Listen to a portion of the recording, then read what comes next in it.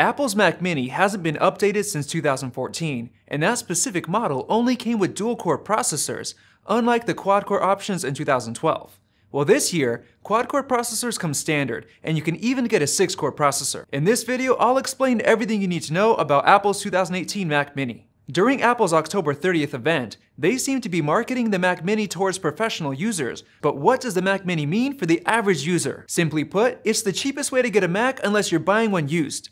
Just use your own mouse, keyboard, and display and you've got a machine running macOS. Not only that, but it's packing some serious performance. Let's get right into it, starting with the basics. You can now get it in a really clean space gray finish, and it's loaded with a variety of ports including HDMI 2.0, two oh, USB 3 ports, four Thunderbolt 3 ports, and even for an extra $100, you can get a 10 gigabit Ethernet port. Thankfully, Apple also kept the headphone jack. With the Thunderbolt 3 ports, you can transfer data at blazing fast speeds, connect an eGPU, or even run up to two 4K displays off this little guy. Just like the rest of Apple's recent Macs, the Mac Mini comes with Apple's T2 security chip which takes care of a lot of stuff including automatic storage encryption, and we explain everything you need to know about that in this video above. The new Mac Mini is packing SSDs with up to 3.4 GHz sequential read speed, and you can get up to 2 terabytes of storage if you want. It now comes with the same 8 gigs of RAM that came with the 2014 model, except it's now a lot faster. You can even get up to an insane 64 gigabytes of memory total, but it's incredibly expensive to do so when buying from Apple.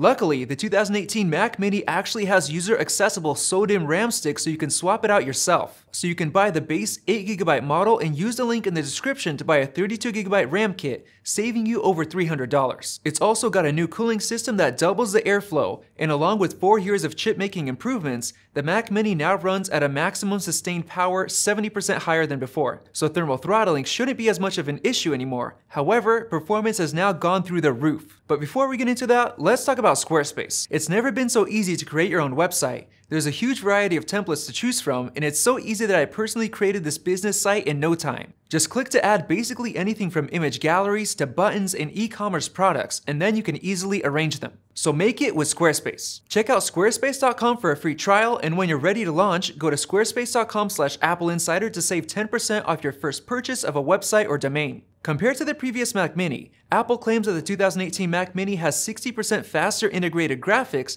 and 5 times faster system performance overall. Those numbers are using the 3.2 GHz 6-core 12-thread i7 processor that turbo boosts up to a massive 4.6 GHz. And we've already ordered that model, so make sure to subscribe so you don't miss out on those thermal throttling test videos. For the base $799 price, you'll get the 3.6 GHz quad-core i3, which interestingly doesn't have turbo boost and doesn't have hyper-threading, but you can upgrade to that insane 6-core processor for just $300 more. The only issue with that is that the base Mac Mini comes with only 128 gigs of storage, so you'll have to pay an extra $200 on top of that for 256 gigs, which still isn't that much for some people. You do have the option of paying $300 right off the bat for the top-end model with a 6-core processor and 256 gigs of storage, but that 6-core processor is slower and it doesn't have hyper-threading either, so you'll have to pay an extra $200 on top of that for the best processor. But to be completely honest, almost everyone will be completely fine with the quad-core model, which gets pretty decent scores in Geekbench 4,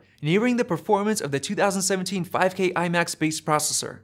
Overall, the Mac Mini is the cheapest way to get a Mac, and this year, performance is up there with the rest of Apple's lineup, especially if you get the top spec 6-core processor. You can order the Mac Mini today and it'll hit store shelves on November 7th. We'll be getting our hands on ours very soon, so make sure to subscribe so you don't miss out on those videos.